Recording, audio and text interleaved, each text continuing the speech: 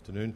Uh, this is uh, Sille Julie Abildgaard. She's a PhD student at the Copenhagen Business School, where she currently studies student teams working on innovative projects and entrepreneurial ideas in different educational studio spaces.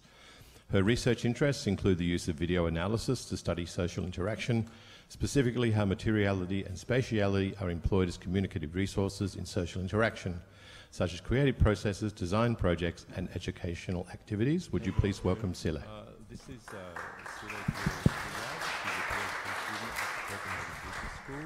Hi everyone, yeah, I'm Sille. So uh, in relation to the topic of this uh, session, I'm focusing on team dynamics. And uh, like the presentation from Bo earlier, I have to also uh, um, say that this research is funded by the Independent Research Council in Denmark, and uh, I, uh, I will try to uh, guide you through. It's a bit of a different study. It's a qualitative study of a display of individual idea ownership during group Hi everyone, uh, brainstorming. So, uh, so this idea uh, came to me when we talked a lot about how are we talking about ideas, and when we talk about ideas in everyday language, we use sentences like I have an idea, I got an idea, my idea is, and so on. And it seems uh, there's this common thing to attribute some sort of ownership to ideas and to identify ideas as belonging to someone when we talk about ideas. And this everyday talk indicates that ideas can be considered and treated as a cognitive phenomenon which can be owned. So there is this sort of ownership epistemology connected to the, to the idea of ideas. um, so this study, I will go back to the study design later, but it's based on uh, four hours of video recorded group, group brainstorming sessions. Um, yeah, and as you know, bra brainstorming is one of these many different creative methods for idea generation, where participants produce ideas, in this case on sticky notes, and share them in a group in order to come up with creative and novel solutions. The majority of studies on these uh, brainstorming sessions and idea generations are normally rooted in experimental research, where you, for example, compare productivity. Uh, individuals produce more ideas than groups, and so on. But this study, um, I focus on language use and social interaction, and I apply this inter interactional perspective inspired by uh, conversation analysis and ethnomethodology. Group in order to come up with creative so, um, my theoretical framework draws on the idea of psychological ownership and territory. And so in this term, I'm not talking about idea ownership in terms of uh, any legal matters or property or anything like that. It's, it's viewed at this, as this cognitive affective state that's very characteristic of being human. And I also draw on Goffman, Goffman's concept of territories of the self. Goffman studied a lot of uh, the implicit rules of our everyday interaction, and he believed uh, he had this idea that in a Goffmanian framework that the self is not this constant size, but it is kind of like extended in our surroundings, and um, and we can kind of say that uh, the self exists in this non-spatial way, more like in our situational, egocentric way, and um, in, in, in can be also uh, in a conversational uh, place as well around us.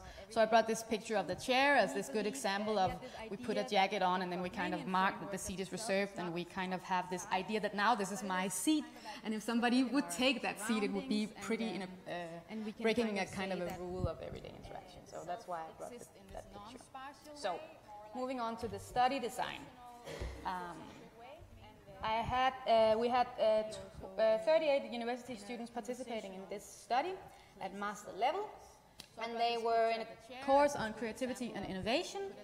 They were already working on a, on a project, and uh, they were 22 female and 16 male in this study, and they were already divided into groups, so the groups were self-chosen, so there was not the same number of participants in each group. Um, they had facilitators to guide the brainstorming sessions, and they were handed out post-it notes uh, that were numbered, uh, and had an individual color, so we could track the post-it notes over time. And uh, this resulted in four hours of video data and photos. So just to give you an example of how the, the study looked, um, we had this two, uh, two camera setup where I used two GoPro cameras uh, with a wide angle lens and one ca camera faced the students and also had a microphone uh, and the other one faced the whiteboard so we could track all this And then all speech were transcribed turn by turn, and also photos were taken after each session, so we could do this complete transcript and follow the interaction as, as it unfolds. So just to give you an example um, So before the students went uh, to these brainstorming sessions, they, they were instructed in the rules of brainstorming, which later on, um, as I will look into my conclusion, kind of affected the way that ownership unfolds or not unfolds. But the, ru the rules were, as you probably know them, defer judgment, strive for quality, uh, quantity, seek wild ideas, and build on other ideas. So that was what they got to know before they started. So because I had video data, I have a lot of rich data and a lot of detailed data. So to break it down into something I could work with, I began, I began with an, a linguistic analysis that was um, this quantification of all the verbal data from the transcript. And I used NVivo to, to create a linguistic um, register. I also coded uh, all the idea proposals, so all the verbal idea proposals, and tried to look into the use of pronouns, verbs, and adjectives, and so on. And this gave me like a preliminary indicator that I could then follow in a more detailed interaction analysis of certain extracts, where I would do more like a detailed transcript uh, to understand the conversational turns and how the, the idea proposals are this um, are multimodal in their format, uh, composed of non-verbal and verbal embodied acts. Um, so uh, in terms of design language and what, what characterizes a design language, um, personal pronouns is found to be a very prominent part of speech in design processes compared to other domains and contexts we normally use nouns and verbs and adjectives more. Uh, so if we look at design processes and also idea generation and concept development, pronouns may be more frequent since we talk a lot about people and they play a critical role. So I found similar patterns in this, uh, in this data, but what about ownership? So I turned to look at self-orientated pronouns when the participants designed their idea proposals. So this is how I expected a lot of data would look like.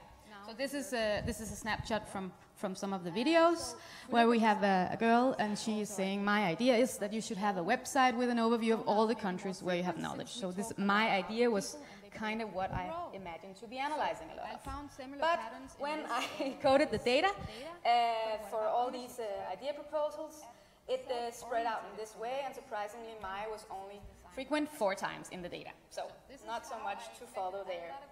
However, I looked into more this I. Um, where we have uh, pronoun and uh, found that I write was very frequently used. So I looked further into that. And then I began a more detailed analysis of what goes on. So this is an example of, uh, of somebody saying, I have written eye scanner. For example, like it's like a laser where you can where it can chip you. Yes, that's nice. So somebody saying, I have uh, written. Um, and this seems to be a very normal way of uh, making an idea relevant in the context, and I found many examples of that. Of that. So, uh, first of all, it indicates a new turn. Indicates that the speaker is actually about to present an idea and not just something. And it also demonstrates that it's a relevant contribution. So in the context of a brainstorming session, what is written on the post-it note is in fact the idea. Yes, um, I also uh, looked into another example. I have many examples, and you will have to look at the full study to get to get the details of this. But this is just to give you an overview.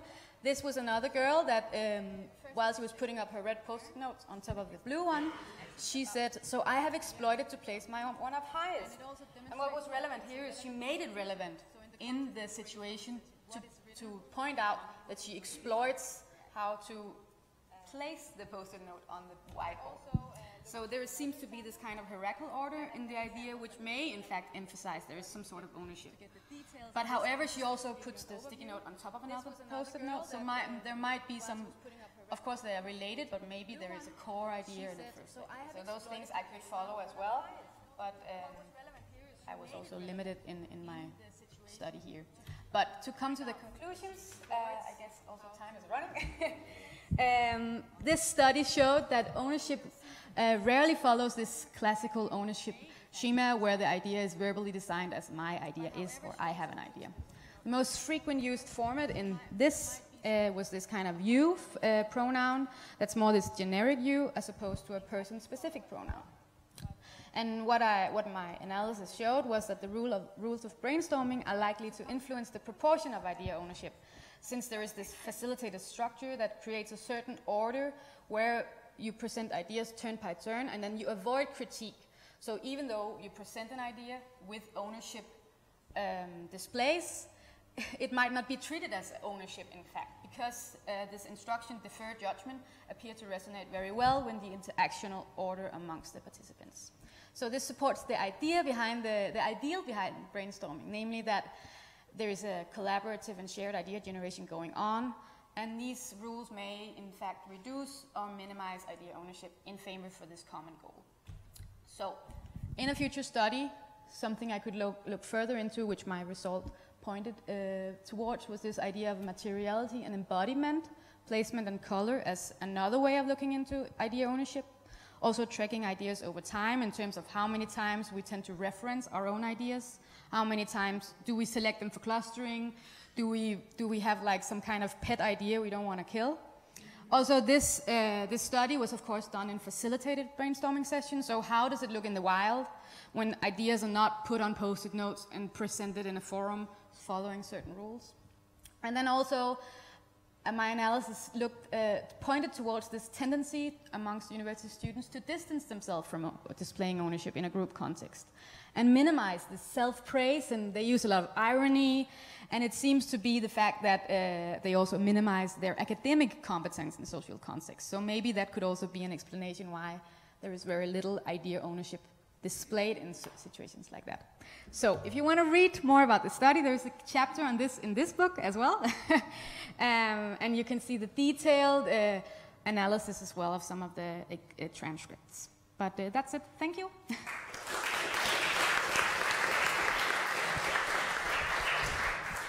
Thank you very much, Sille. Uh, do we have any questions in the room, please?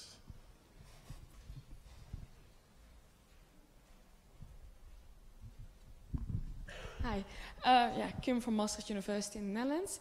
Um, I find it really interesting to see uh, that you actually expected my ideas and that you didn't really find it, but mostly I have written. Um, I will also be curious because of that finding. It could be that people come together and it could be a certain fear of failure. So it's quite um, sensitive to actually tell people I have an idea because they can also uh, attack you on that idea and that also it's part of your identity. So I was wondering whether the course, and maybe I missed it, was this like one time that it came together? Or did they have more time to actually get to know each other, to feel safe with each other? Mm. Because you could expect that then maybe this changed into I have an idea because they're comfort, more comfortable. Yeah. This was, uh, this was self-chosen groups, it was quickly said in the beginning. So they knew each other and they were already, they chose this group themselves, it's people they know. So I expected them not to be influenced by like being very, this is my idea. If you know somebody new, you might want to minimize that and be, be, be, not be rude or something. So, uh, yeah, they, they knew each other. So uh, there should be uh, open space to take possession of something if you wanted to. Yeah. Yeah, it's fascinating uh, watching you in your study and hearing your um, results. What I know from three decades of working in creative industries in creative teams is that, uh, and it's an important study because what, what, you, what you come up with, you don't actually say that's my idea. You don't articulate it. But everybody in the space knows that it's your idea. Mm-hmm. Um, and it's an unspoken thing. The other thing is that often ideas are merging and you cannot tell where one begins and another ends. And ideas have a way of leapfrogging each other and creating a life of their own so they have a context of their own that seems to emerge. And people have written about this. Sometimes it's even not you creating them. Um, and you lose its ipseity. But one of the things that I think would be interesting to study is whether people know that whose ideas are what, whose ideas are owned by who, and also to understand the ethical dimensions of it. I mean, I've I've worked in industry where people have taken, gone and got awards for my work because they've said it's theirs, and it happens in collaborative creativity all the time. You know, success has many fathers, failure is an orphan. Thank you. That's all we yeah, have time for. for thank you very much. thank you. Would you please thank Sille? Thank you.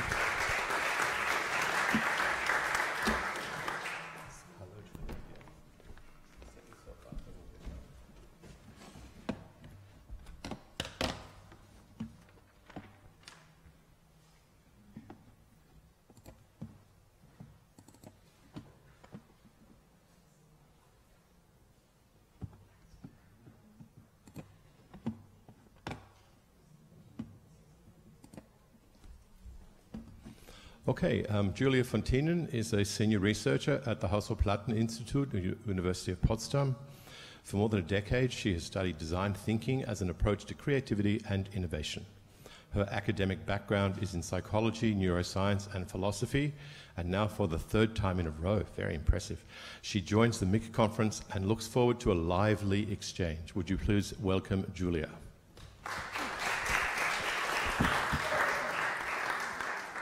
Thank you for having me. So, uh, welcome to this reflection about the resources that children versus adults bring to creative pursuits. The title also refers to a sense focus model about which you will hear more shortly.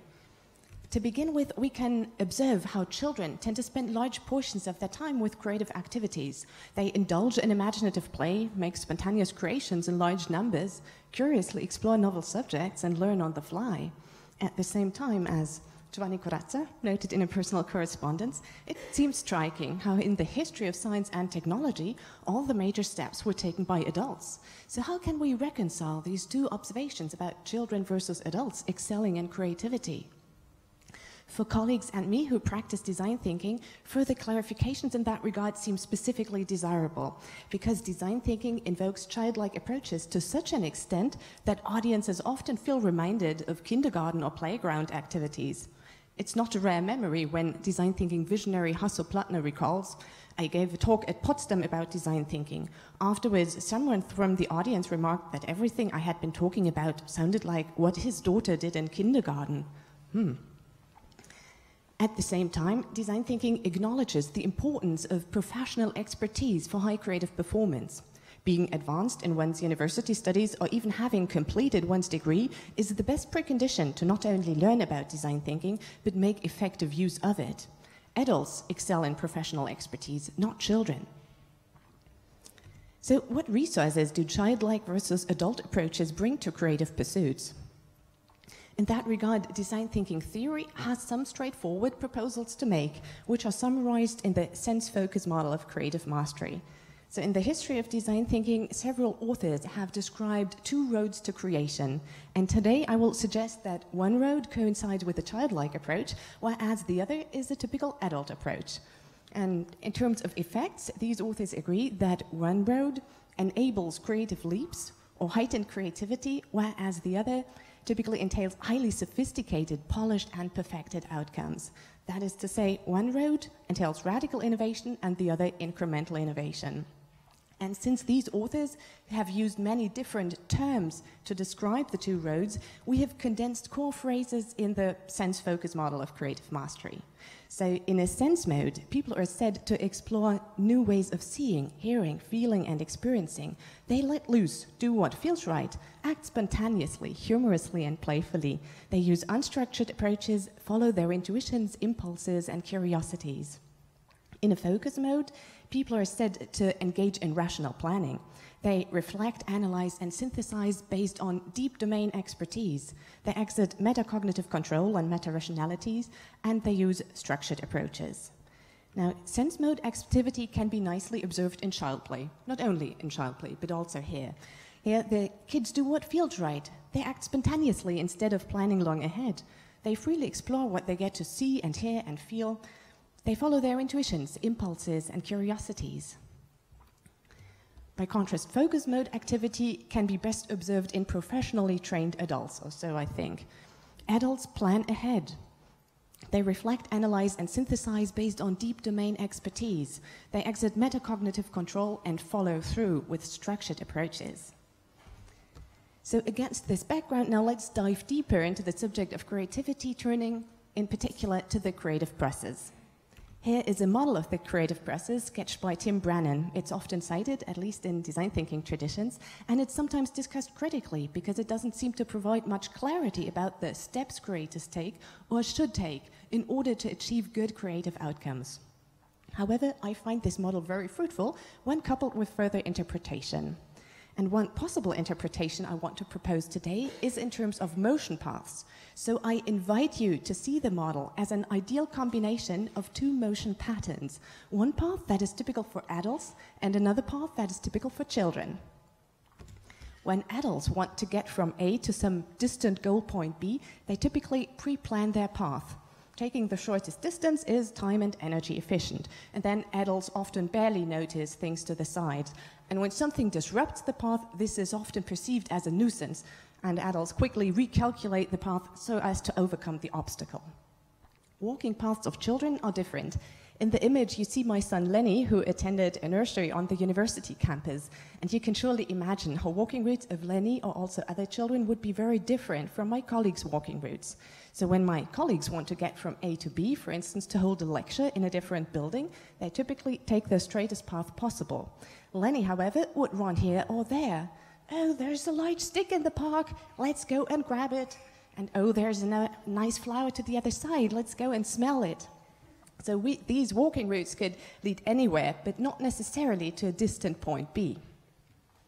So let's explore this motion metaphor in further detail, and please be, please be prepared. It will be a fast paced tour. We only have 12 minutes. So I will suggest some directions of thought, and then you're invited to take the thoughts further or to review them critically. First, let's consider motion in straightforward terms. Might there be some connection between motion paths and creative performance? There are by now many studies that show an, um, an, impact of motion on creativity. In the experiment quoted here, participants in one condition walk around freely, whereas in another condition, they follow the straight lines of a rectangle. Afterwards, participants in the free walking condition show increased creative performance compared to the other group. So, by means of impression, heightened creativity appears on the yarn ball side. In the next step, let's consider the two motion paths in terms of the sense focus model. Here, um, the yarn ball motion path can be interpreted as creative activity in the sense mode, well observable also in child play. Such exploratory processes often lead to the discovery of unanticipated opportunities. This approach courts serendipity. The straight arrow motion path, to me, represents creative activity in a focus mode, best to be observed in professionally trained adults. Um, this approach benefits from extreme insistence all efforts are orchestrated around goals that may lie far in the future, and deep domain expertise helps to approximate perfection around the envisioned goal. Thirdly, interpreting the creative process as a motion path raises a question of orientation. When people choose a path, how do they orient themselves and make choices? Notably, to pre plan the shortest A to B path, adults need an initial cognitive map such a map would also help to know what is off track and can therefore be ignored as irrelevant. By contrast, the motion path of children does not seem to require an initial cognitive map that overviews the whole terrain. It's enough to be aware of the immediate environment where you can approach things that interest you. However, what will happen is that by trying things out here and there, gradually the child will develop her own unique cognitive map then for the motion path of children, emotions are all important. Is the child more passionate about sticks and therefore turns to the park? Or is he maybe more passionate about vehicles and therefore turns to the parking lot? I point this out for two reasons in particular. First, Sergio Agnoli and Giovanni Corazza recently noted a lacking recognition of the guiding role that emotions play during creative press. Oh, but, oh, yes. For adults, I, I should say, for adults, um, emotions, or for this straight arrow path, the shortest A to B path, emotions seem to seem to be just less important because we can easily imagine 10 adults with different emotions and they still select the same A to B path based on a common cognitive map and efficiency optimization. So we have this difference. And I point this out for the two reasons I just um, alluded to, namely that the, the role of emotions is actually an issue. Rarely we encounter models and theoretical frameworks considering emotional reactions as main determinants of the creative process. And with this motion path metaphor, we can acknowledge the guiding role of emotions even at fine granular levels of analysis. That is, specifically in sense mode activity, emotions likely shape each and every turn in the creative process path. The second reason why I bring this up is because radical innovation is often understood as a process where people develop new conceptual spaces that divert from old views and paradigms of thought. Now, from a physiological perspective, it seems to be the case that brain structures used by all mammals to maneuver through physical spaces are reused by humans to also maneuver through conceptual spaces. And as a thought, wouldn't it be or yeah, cognitive maps are encoded in the hippocampal formation and related regions and range from the spatial to the purely conceptual.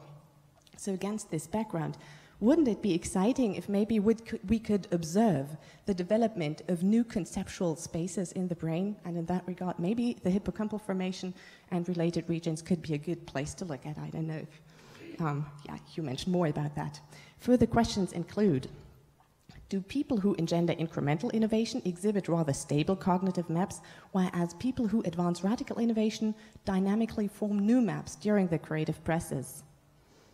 And also, from a methodological perspective, creative activity in a sense mode could be a means to foster the development of new and valid conceptual spaces.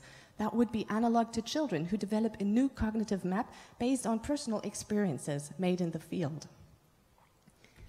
Then, a fourth and related concern how about attention? When people take the straight arrow motion path, their attention can often be narrow. So the focus lies on B, and then information to the side is discarded as irrelevant. And when something extraneous does become important, it is often perceived as a nuisance, such as an obstacle that enforces a detour. Hmm. By contrast, in the case of the um, yarn ball motion path, attention will often be wide, so as to overview options and find the next interesting thing. Attention can also be leaky, so you focus on one thing and then something else enters your awareness, so you turn to the side and you turn again and again, and thus quite possibly never reach a distant point B. And since I was indicated, um, yeah, so just the empirical findings in that regard, here people with a large breadth of attention and leaky filters show increased creative performance. So once more, by means of impression, we find heightened creativity on the yarn ball side. And fittingly, um, attention also seems to be more narrow and selective in adults compared to children. So, for reasons of time, uh, you won't hear about uh, room designs for uh, creativity. And I finish with um, the basic idea that is, we might want to encourage more motion paths um, of a yarn ball type or childlike approaches for creative purposes we surely want to continue to build on professional adult skills and a long term focus in the pursuit of goals. The happy blending of childlike and adult approaches may indeed be a good model for ra uh, successful radical creativity. Thank you. Thank you very much, Julia. Uh, do we have any questions in the room, please? Julia, beautiful presentation, beautiful model and hypothesis. Three things I want to say. First thing is that uh, it's not clear-cut adult and child, Absolutely. because we as adults yeah. preserve qualities and attitudes of children, and that's what we should uh, emphasize, as you say in the end. Sometimes you get to B, and then you have to come back to A, so it's not always in that direction forward, it could also be backward.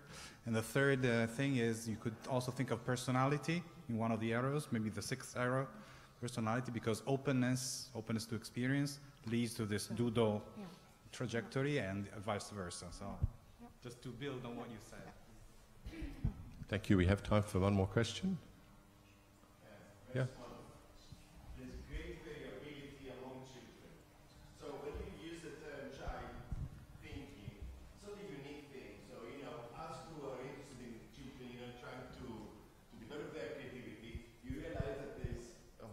I shout a lot anyway. So I thought that you heard me. But you know, there's great, great variability. The children think differently. They don't think in one way. So you can't really say that this is a child way of thinking and this is an adult way of thinking. So it's very, you know, whatever, that, that, that's extreme, you know, showing the direction towards more creative thinking is good. But, you know, children are much, much more complicated than that. You have different kinds of children. Yeah, and it's just a, a metaphor. And I've 12 minutes to introduce a metaphor, so I make it bold. Thank you very much, Julia. Thank you.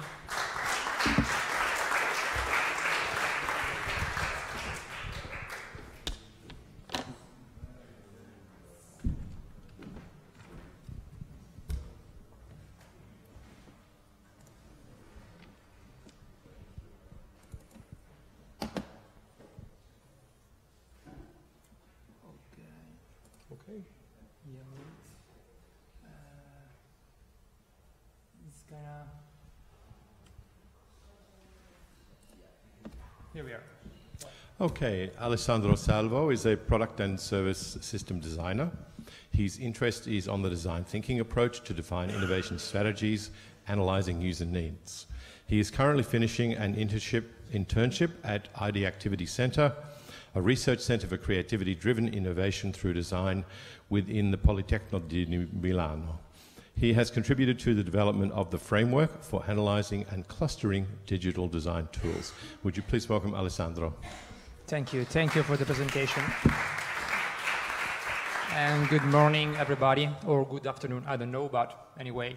Uh, I'm Alessandro, and um, today I'm here with uh, the professor Marita Canina and the PhD candidate Carmen Bruno. Um, and I'm going to share with you this uh, digital creativity tools framework that we developed. Um, we are a research group at the Activity Center um, with the aim of um, developing methodologies to empower all the different steps uh, of a creative design process through design research, uh, through studies on creativity, and um, through a human-centered approach, striving always for innovation. Um, uh, the framework I will present you today is only a, a small part of a wider research um, that the group uh, have done in these last years um, concerning mainly the evolution of technology uh, and the impact it has had uh, both on society and uh, on creativity, especially the relation that this last has we, within the design field. Um, speaking about uh, digital technologies, uh, I think we all agree when I say that we are facing a digital transition. a digital tra a transition that is uh, mainly affecting, I think, um, a lot of elements inside the design field. First of all, the way of working of designers and non-designers. Uh, secondly, um, it is affecting not only product and services, uh, but also the way we design products and services, so the creative design process, with its tools and models that are, uh, let's say, boosted uh, thanks to these new digital technologies. Um, for, for, this reason, we developed this framework, and we, with the aim of, uh, first of all, identifying, uh, cluster, and to uh, analyze all the online-based digital tools that could support in any way the creative design process, starting right away uh, from our uh, design process that is uh, that one. In two slides, I will explain you uh, how it is. Uh, this is the structure of the framework. Um, we started from our uh, background knowledge about uh, design thinking, about uh, the creative design process. Then we needed to define the criteria for the analysis of these tools that could support the design process. And then we ended with our tools hunting, and then we needed to position these tools inside our framework. Uh, this structure is also the structure of the, the, uh, the slides now on. And so let's check it.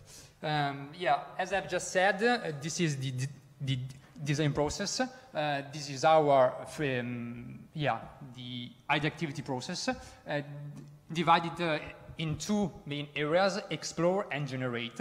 And uh, for developing our framework, we needed to uh, change it a bit. In fact, we designed a new shape, a double diamond shape, maintaining the two main areas, explore and generate. Um, in these two main areas, we, um, we identified uh, two uh, and two, so four in total new phases. Uh, we have clarified goal, define opportunities, ideate, and prototype. In the first phase, we need to understand better the problem we have. We have to explore all uh, the sort of information we, we can gather. Then we, we need to define opportunities, and, and so we have to converge into a brief, into a design challenge, in order then to uh, explore it in the third phase, in the ideation phase, where we have to con uh, conceive a lot of ideas and then uh, selected one or more uh, to prototype later in the last phase of, of uh, yes, of prototyping, uh, ending with a solution. And this process is very important, is we have to re repeat it again and again. Um, now, how I, this, the, a second step. How might we define the criteria for the tool selection? Um, we, we started from uh, an, ex an, extensive literature review um, with the purpose of um, searching for criteria, for design principles, for a creative aspect that a digital tool should support inside, within the creative design process. Um, we, we selected uh, three main re researches done by Ben Shneiderman uh, that we took as a scientific reference for our framework, for building our framework, um, where uh, Ben Shneiderman uh, studied and, and analyzed how to design uh, digital tools that in, in, any way could support uh, creativity inside the design process. This is a list of some of them, and we um, took in, co in consideration this one, um, and then we needed to transform them into uh, our three main criteria for the framework. The first one is design process activities, the second one is the tool selection criteria, and the third one is, uh, are, sorry, tools, uh, tools cross characteristics, sorry. Um, starting for, from the, the, first one, we, here we have again the four phases of the design process uh, and 10 activities that are uh, supporting these four phases. Starting from the first one, we have uh, to search for information. I, uh, I have uh, just said, then we have uh, to empathize with, the users. We have to empathize with the needs of the, user, of the uh, users, and then we have to clusterize all the data we gathered, and we have to visualize them into a, a, meaningful way. In the second phase, we have to open the possibilities, so we have to see uh, all the possible implication of a solution in order to build up a scenario uh, or a, a future event for our project. In the, last, in the third phase, we have to be inspired. We have to uh, conceive the much uh, idea as possible and then we have to select one or two in order to prototype them uh, in the last phase uh, with the making activities and also the reflecting. That means uh, to share, to disseminate our solution with users, with stakeholders, in order to get to gathering feedbacks also in this phase. Um, as you can see here, we positioned these 10 characteristics under the uh, double diamond shape and under the four uh, main phases. Going on, um, the second criteria uh, are the tools selection criteria. We, um, we used uh, these three uh, criteria as uh, entering filters uh, for our uh, digital tools. The first one is meta design. Meta design is a notion, is an approach that um, allows, in any way, users to, to act as designers, even if or without being, for example, a skilled computer expert. Um, on the other hand, we have low threshold and high ceilings. This means that the, um, that the tools uh, should allow, um, for example, uh, novices uh, to use the tools without, uh, uh, no, with giving them an, an immediate confidence with, with the tools. Uh, and then, at the same time, high ceilings means that the, the tools should be also possible for experts to work on with uh, a complex solution, for example. Um, these are the last criteria, uh, are the cross characteristics of the uh, tools. Uh, we define this for uh, because uh, now we can compare also the tools we put into the, the framework. the first one is collaboration. We have co-creation, rich history keeping, and relate and interact. The first one means that the, the tool has a an environment in which uh, team members, colleagues can share information, work together. The second one means that the uh, tools are mainly for facilitator that wants to build up uh, co-design uh, activities or co-design session. The third one is, means that the tools um, have the, has the, the possibility to record all the, my previous ideas, my previous project, my previous modifications. So I can go back and bring uh, these ideas. Um, concluding, the last is relate and interact. That means that the, tools could help me uh, uh, to communicate with peers, experts, or even a community, a bigger community. Um, then this is the, the, the framework. uh, apart. Uh, we, we clusters more than 50 online-based digital tools. Um, and we started from uh, this kind of, of visualization. Uh, as you can see, we have, again, the double diamond process. We have the four phases with the descriptions. Uh, we have the 10 activities, tasks with that description. And then we started place the tools uh, inside um, their acti activity of application. This means that, that uh, for example, this first uh, four uh, tools uh, solves the first, the searching activities, the clustering and visualizing, and the last one, re reflecting. Here we have an, an example. This, this is Shape, uh, a tool developed by IDEO. Um, this is this cell um, where we, we have put uh, all the tools. We have, um, in this case, collaboration, rich history keeping, and relate and interact with the description and also the link of the tool. Um, concluding, um, we know that, uh, that, that this is only a, a first step of a wider research.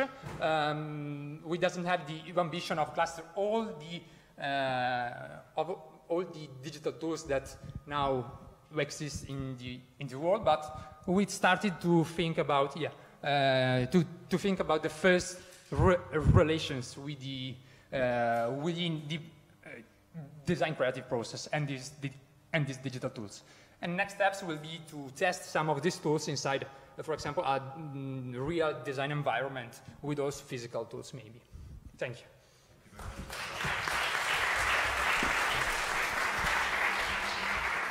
Thank you very much, Alessandro. Do we have any questions, please?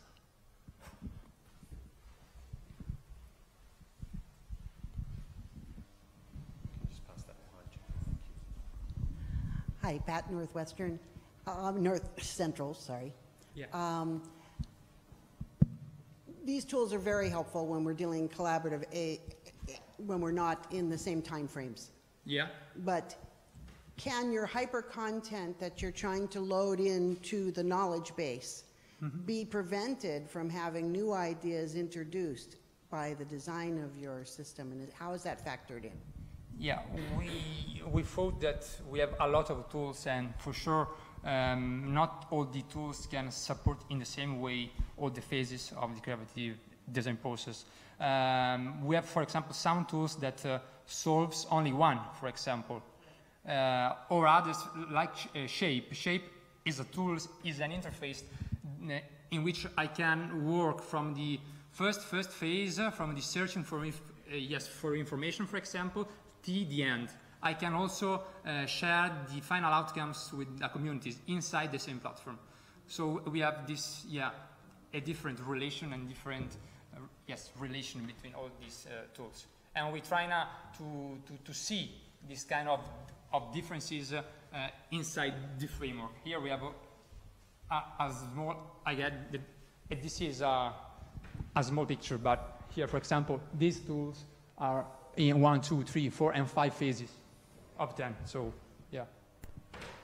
Thank you very much. I think it's time for lunch. Yeah.